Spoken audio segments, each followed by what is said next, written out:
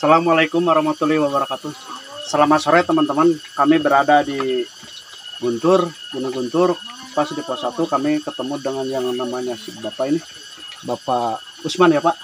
Kenalin ini saya Sobar. Eh, maaf Pak, saya tumpang tanya. Eh, setelah kejadian ini eh, tentang adanya yang hilang terus ketemu tentang masalah pendakian selanjutnya bagaimana Pak? pendakian kan tidak pernah ditutup. Pemerintah tidak pernah menutup. Pendakian. Itu kan musibah. Penutupan resmi tidak pernah ada. Ini kebijakan pimpinan di wilayah untuk sementara bukan dihentikan. Ya, dikurangi. Dikurangi. dikurangi dibatasi Aneh, pendaki. Karena aneh ya ada kejadian. Eh, ada lagi tambah. Apakah betul Pak tentang Gunung Guntur ini seperti kita lihat di YouTube banyak misterinya atau semacam makhluk halus atau apa-apa? Ya kita kan lihat di YouTube seperti kayak Gunung Guntur ini wow. Apakah betul itu? Atau cuma dibuat-buat orang bikin konten di YouTube? ya kalau itu kita nggak tahu ya yang jelas kalau kita kalau pencarian ya pencarian ya apa menggunakan ilmu kita gitu Iya ya. ilmu Budaya kita kita. maksudnya ilmu kita itu dari Pohut dari BKSDA kalau ada yang nyasar oh berarti lihat apa lokasi atau lihat medan. Paling jalannya ke sini. Paling nyasar ke sini nyasar ke sini. Makanya kita dari tim termasuk Basarnas kepolisian ya, kita ilmu kita aja yang digunakan. Jadi kalau masalah gitu-gituan mas kurang tahu. Bukannya tidak percaya tidak percaya makhluk halus itu pasti ada tapi kalau disangkutkan dengan yang itu Beda ya. kurang pas kalau kita petugas lah Oh jadi gini ya, maksud si bapak ini berarti kita juga paham. Jadi apa yang diceritakan di YouTube bahwa Gunung Guntur itu sangat itu mah hanya dibuat-buat. Tapi sih memang pantas juga sih yang namanya juga di gunung hmm, penghuninya ada makhluk goib makhluk dohid pun juga pasti ada ya, ya. pasti gitu Itu mah kembali ke prinsip kita yang datang ke gunung ini. Kalau kita nggak safety berarti anggap aja gunung ini rawan. Tapi kalau prediksi saya itu mah yang jadi rawan kitanya Ya, kitanya kitanya kurang safety. Tapi mohon maaf juga Pak ini ada pertanyaan. Apakah selama ini kita kan dari Cikuray Pak eh, full dari awal kejadian sampai terakhir sampai ketemunya pun juga kita tahu ya Pak Hmm, betul. menemukan berapa orang dari BKSDH setelah kejadian itu mengeluarkan anggota untuk pencarian. Eh, kita berapa orang ya? Yang akurat ya Pak ya. Heeh.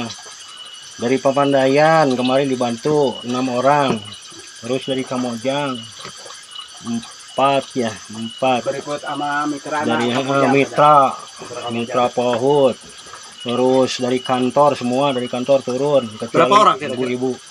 Ya kira-kira 18 orang sampai 20 orang.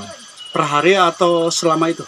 Eh, per hari ya tidak kurang 15 orang tapi kalau ada yang sakit biasanya di eh, giliran gitu A plus plus. Oh jadi rollingnya BKSDH, tolong teman-teman eh, diantisipasi ini diklarifikasi ya.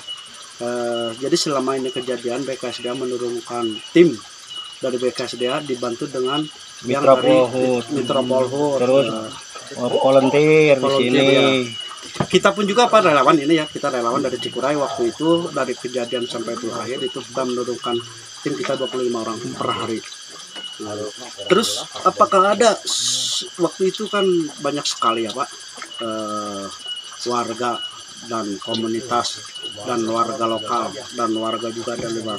Apakah Bapak dari BKSDA itu membantu nggak tentang logistik? nah kalau logistik itu kan kita ada bantuan termasuk dari BPBD terus dari Pertamina Nah, paling kita membantu ya sedikit-sedikit sih Ya, jadi maksud kita ini waktu maksud kita apakah dari ini kan pengelolaan BKSDA ya Pak ya? ya betul Nah, apakah dari BKSDA sendiri mengeluarkan dana untuk relawan atau untuk apa gitu lah maksudnya? ada sih ada tapi ya tidak memuaskan mungkin Oh. Ada Oh mungkin saudara-saudara Nah, dari BKSDA juga ada ya, tapi di bawah minimal mungkin ya Pak ya? ya ada karena ya seperti yang kita kita tidak tahu kan ke warung bla, bla, bla, bla. Ah, seperti itu kalau yang lain nggak tahu kan kita yang punya wilayah yang Oh, gitu, iya, kan iya. termasuk nah warung ini ini contoh Ya. ambil ambil ambil ambil ambil Oh, jadi Nah, kita yang bayar kan. jadi ada juga ya yang suka ngambil-ngambil dan nanti bebannya dikebanyakan sama Ah, orang. mungkin Ini sebagian oknum ya Pak ya? Nah, bukan oknum lah kita tidak menyebut seperti ini Oh iya. iya. tapi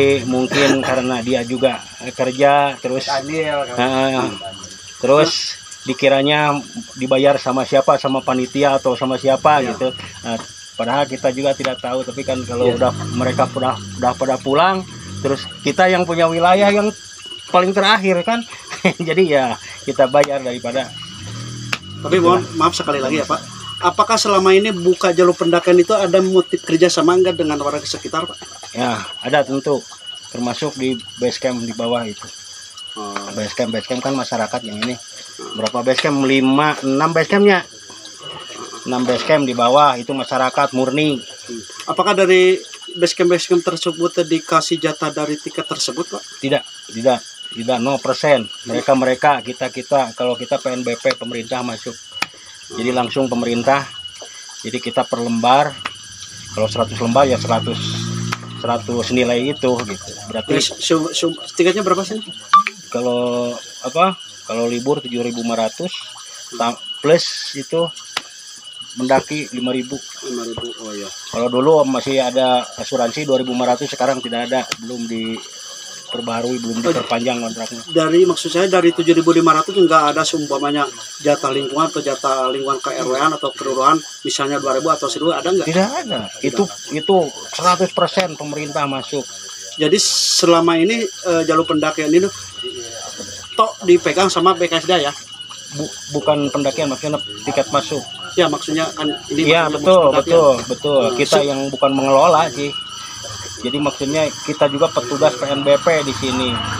Di petugas PNBP yang ditugaskan oleh pemerintah langsung gitu kan ke- sama kepala balai pakai SK-nya eh, tersendiri. Kalau yang di PNBP ini jadi kita tiap Senin seminggu sekali setor hasil penjualan tiket di sini Oh, iya. setor Jadi langsung ke kas negara Jadi warga sekitar enggak kebagian cak-cakan dari tiket tersebut ya? enggak enggak Oh iya. termasuk termasuk Pemda Enggak kebagian ya? di tingkat satu tingkat dua tidak kebagian dari sini karena ini pusat Ya. Ya walaupun pusat ada titiknya. Ya. Mm-mm, betul Eh, jadi mungkin saudara-saudara untuk dilihat ya. eh, jadi selama ini anggap aja ini jalur pendakian. eh, tiket di sini ini tok dipegang sama BKSDA ya. Warga mungkin punya keuntungan dari parkir atau dari Hmm. jual beli. Jadi mungkin itu yang, yang punya keuntungan mungkin di sini BKSDA ya. Nggak apa-apa lah. Yang penting nyaman, aman dan terkendali. Terima kasih Pak. sama-sama